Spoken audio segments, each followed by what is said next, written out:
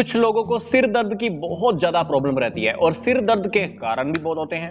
कभी कभी तो ऐसा होता है कि हमको जुकाम है या साइनस की प्रॉब्लम है, इसकी वजह से भी सिर दर्द होता है, या कभी कभी तनाव स्ट्रेस की वजह से भी सिर दर्द शुरू हो जाता है। सीज़न चेंज होता है, मौसम चेंज हुआ और सिर दर्द भी स्टार्ट हो गया। माइग्रेन की वजह से सर्वाइकल की वजह से बैक पेन की वजह से भी सिर दर्द रहता है।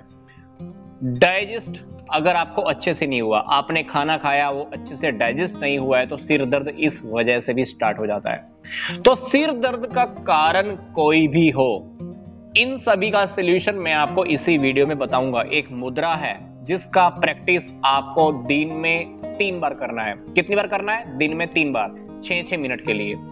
पर उस मुद्रा के काफ़ी सारे बेनिफिट और भी हैं। जैसे हाई ब्लड प्रेशर के केस के अंदर ये मुद्रा आपको बहुत बेनिफिट देने वाली है। आपका स्ट्रेस का लेवल कम हो जाता है।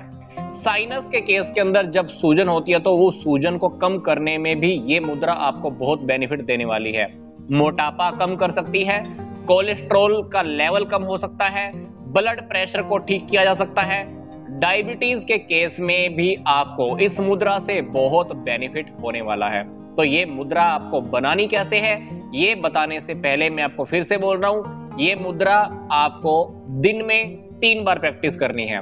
कितने कितने मिनट्स के लिए? छह मिनट्स के लिए। तो छह मिनट्स के लिए आपको इस मुद्रा का प्रैक्टिस तीन बार करना है। अब बात आती है कि मुद्रा हम बनाएँगे कैसे? सिंपल सी बात है, ये हमारा हाथ है, आपको क्या करना है? जो हमारा रिंग फिंगर है, उसको हमारे अंगूठे के बेस पार्ट पे टच कराना है और अंगूठे से हमको बाकी की दो उंगलियों से मिला लेना है। और हमारी जो सबसे छोटी उंगली है, ये हमारी सीधी रहेगी। तो हमने क्या किया है? ध्यान से देखिए फिर से। रिंग फिंगर को अंगूठे के बेस पार्ट पे टच कराया है और अंगूठे से इंडेक्स फिंगर और जो हमारी मिडल फिंगर है, उससे मैंने टच कराया है और हमारी जो लिटिल फिंगर है, उसको मैंने सीधा रखा है। अब इस मुद्रा को एज इट इज़ आप अपने घुटने पे रख लीजिए। ये आपकी महाशीर्ष मुद्रा बन गई है। इस मुद्रा को हम बड़े सिर की मुद्रा भी बोलते हैं। इस मुद्रा का प्रैक्टिस आपको दिन में तीन बार करना है छह छह मिनट के लिए।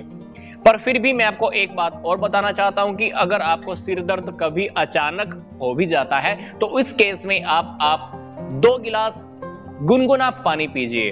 हो सकता है कि सिर दर्द आपका तुरंत गायब भी हो जाए। पर फिर भी अगर आपको लग रहा है कि आपका सिर दर्द कंटिन्यू चलता रहता है, कुछ दिनों से प्रॉब्लम आ रही है आपके सामने तो सिर दर्द का चाहे कोई भी कारण हो, आप इस मुद्रा का प्रैक्टिस कीजिए।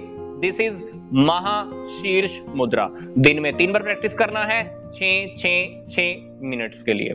तो मैंने आपको इस वीडियो के डिस्क्रिप्शन बॉक्स में कुछ और इंपॉर्टेंट वीडियोस के लिंक भी दिए हुए हैं, आप चाहें तो वो भी देख सकते हैं। तो यहाँ तक का वीडियो देखने के लिए आपका धन्यवाद।